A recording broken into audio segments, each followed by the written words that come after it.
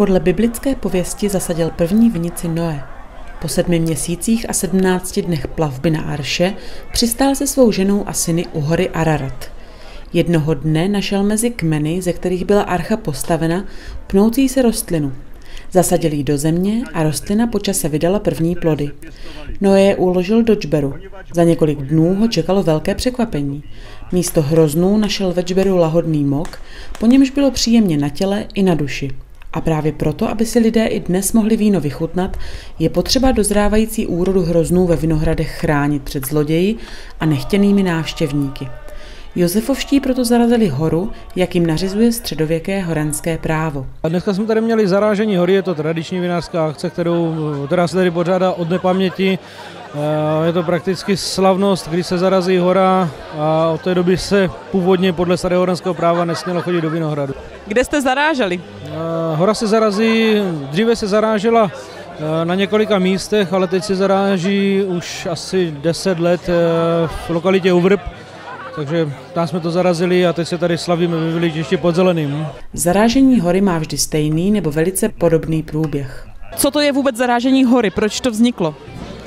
No, je to starodávný zvyk, který se zachovává od nepaměti. Já už jako malý kluk si pamatuju, že jsme chodívali vždycky do těch nejvyšších vinohradů na ty nejvyšší hory a tam se zarážela hora. Zarážávali to všechny okolní jiny a na té nejvyšší hoře ta hora, když se postavila, tak to e, tyčalo jako vstyčený prst a hrozilo každému, kdo by chce škodit na vinohradách. Při samotném zarážení vinaři postaví vysokou ozdobenou májku, tedy horu, mezi vinohrady a za odříkávání modliteb prosí svatého Urbana, patrona vinařů, o ochranu bohaté úrody. Všechny ozdoby hory pak mají svůj přesný význam. Na vrchu té hory je kytica, která se den nebo dva dní předtím nechává posvětit v kostele. Je zde teda kvítí, Důle je věnec, eh, který je z planého chmelu.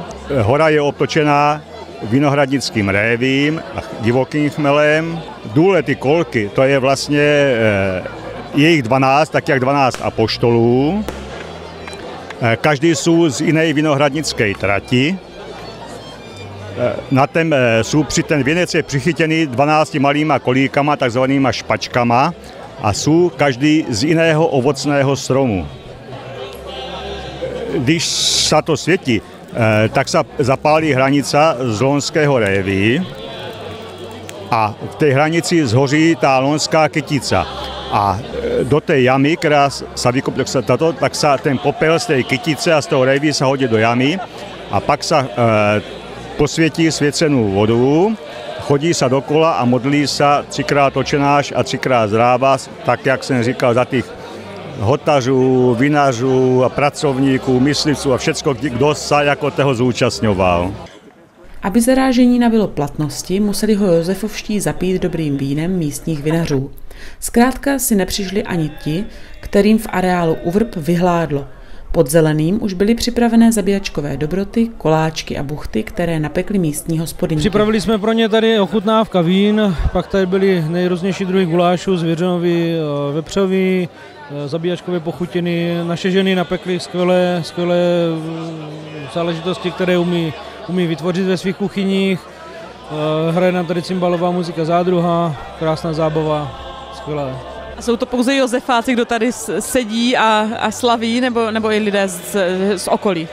Tak jsou tady, primárně jsou tady Josefáci, rodáci z Josefova, jejich rodiny a hosté. A máme tady samozřejmě také lázeňské hosty a hosty, které jsme pozvali vzácné, pan Tesařík z jeho moravského kraje, starostové z okolí, takže ne, není to jenom pro domácí.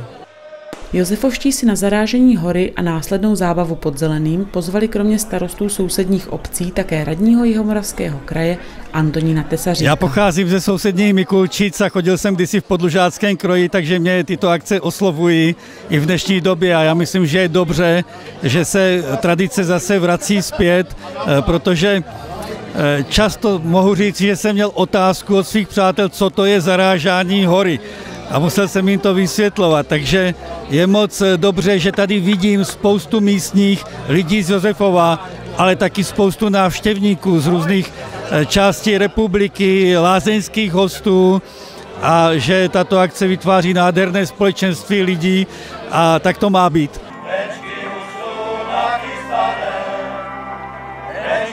jsou nachystané.